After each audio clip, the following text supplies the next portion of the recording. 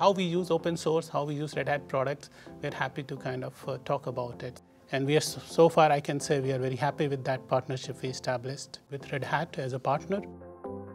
A huge focus always at KubeCon and Cloud Native Con is the community. And here at OpenShift Commons, I always love one of the taglines, we have more in common than you know.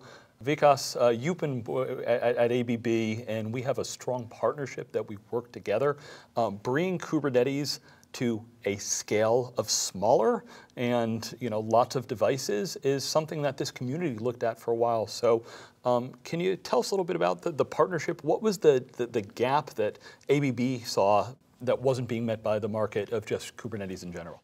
So see, we operate in kind of an uh, OT environment we call, right? Operational technology in the automation space. And this is a space where uh, I would say we have harsh environments, right? So you have high temperatures, dusty environment, and we want reliability. We want to have this always running. We will not be able to deploy all the time at that level uh, big data centers or big clusters. We can do that, but in the spaces which is more an office space, not into the OT space. And that is why if we want to get the edge close to our control technologies, we needed to have a right footprint. We cannot just blow this up into a big uh, data center just sitting next to our control system. We have to start with a low footprint.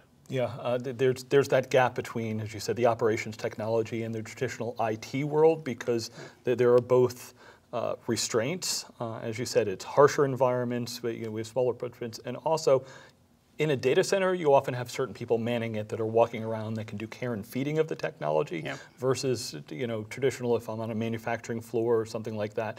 I, I don't have that IT skill set or IT people there. So things need to be more enclosed, automated, you know, more like a self-service environment. Would that be fair? True, that, that's a good uh, understanding, I would say. That's true. We do not have IT people handling let's say personas in, in the OT space. They're like just operators, engineers. They, they know the process, how to operate a plant, but they do not know how to manage in a data center, for example. That's also the reason, of course, that's where we are kind of bit tricky. That's where to say OT and IT convergence. We want to bring that, but we don't want to bring deep down.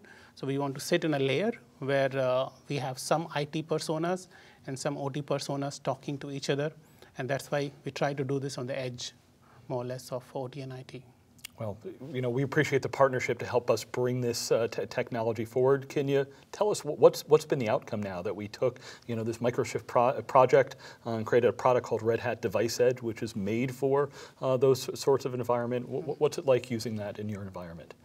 So so far we have been very positive about all the feedbacks we are getting from our dev teams, from our uh, let's say, engineers who are getting the hands-on on the technology of, of Red Hats.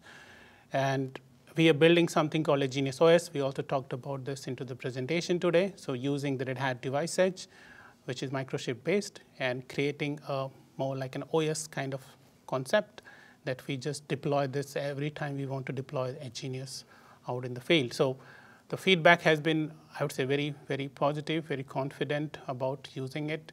And I would really say that uh, Red Hat kept their promise to get this productized, and that has given us a lot of confidence as well.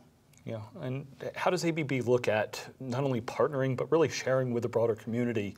You know, here you are at Common sharing your story and sharing with the open source community at large.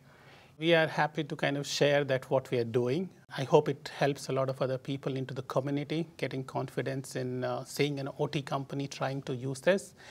But of course, the level of sharing is also limited for us because we are dealing into a market space which is, I would say, very critical. We do not want to have the knowledge or things which, which we have built uh, in ABB and also with our customers' intellectual property known to, let's say, outside. But how we use open source, how we use Red Hat products, we're happy to kind of uh, talk about it. Well, Vikas, thank you so much for sharing your story today.